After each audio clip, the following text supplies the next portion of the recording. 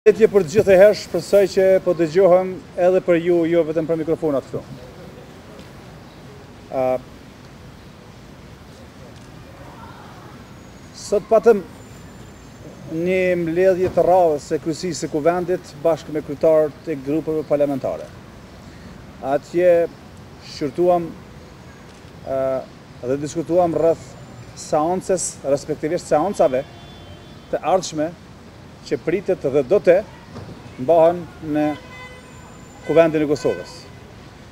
Deri në momentin ku po flasim, Avdullah Hoti ende nuk ka shprehur as më të voglin interes dhe gatishmëri që të vijë të raportojë në Kuvendin e Kosovës për atë çfarë ai është i gatshëm ta raportojë kudo tjetër përveç se këtu.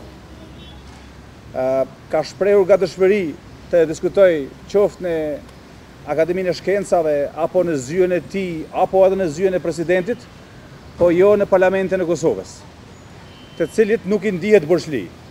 Prandaj sot, në kryesi, në emën të grupit tonë parlamentar, e ngritëm si çështje që ai duhet të vijë këtu, në këtë institucion, të raportojë për atë çfarë po proklamon që është i gatshëm ta bëjë, siç është udhëtimi i tij në njëzet e shtatë, ku do të flitet për Kosovën.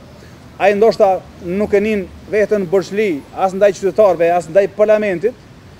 Ai ndoshta ndien vehten borxhli vetëm ndaj presidentit LDK-s, AAK-s, Nismës e Srpskas. Por përderisa flet për Kosovën atje, duhet ta ndijë vehten borxhli dhe t'i raportoj Kuvendit të Kosovës, i cili është organi i cili përfaqëson qytetarët e Kosovës. Një Kryeministër ilegal dhe ilegjitim, po e shpërfaq edhe një herë vehten i papërgjegjshëm ndaj qytetarëve dhe ndaj Parlamentit të Kosovës.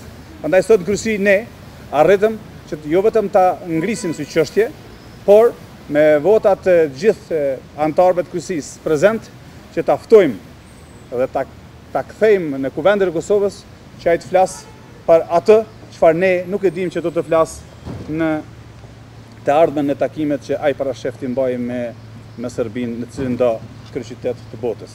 Prandaj nëse në këtë vazhd nuk do të përgjigjet, ne do të shfrytëzojmë që edhe të mbledhim nënshkrimet për ta sjellur me dashje e pa dashje në Kuvendin e Kosovës zotin Hoti, të cilit për fat keq nuk po mund t'i referohem si kryeministër.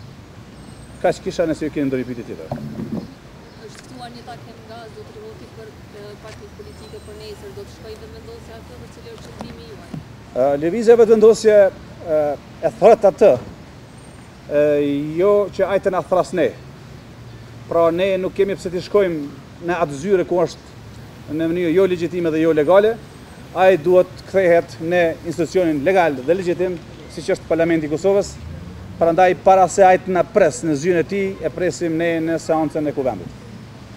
Përshëndetje, pak jashtë kësaj teme, dje ka qarkulluar një video në nëpër media, një takim me zotin Xhavit Halitin, ai diku në bregdet në Shqipëri.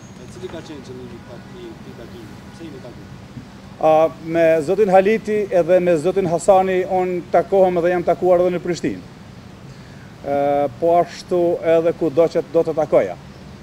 Pra ka qenë një takim e, spontan në Durrës, një takim i cili pasi që ka ndodhur e kam parë edhe që është publikuar, ndonëse Ka pasur fotografi edhe nga të tjerët, nga qytetarët e rastit, por për t'i dhënë pak karakter, sikur sekret e pashë që është zgjedhur fotografia më e fshehtë që është mundur të ndodhë atje. Ai takim as nuk do duhej të ishte lajm, edhe do të ndodhë prapë, sepse siç e pashë në artikull, takimi i armiqve, unë nuk jam as armik me Nait Hasanin e me Xhavit Halitin, përkundrazi, ndonëse jemi në subjekte të ndryshme politike, unë jam takuar edhe në këtë institucion, Unë jam takuar edhe në Prishtinë, jam takuar edhe në Durrës, por kurdo që të vijnë do takohem sërish.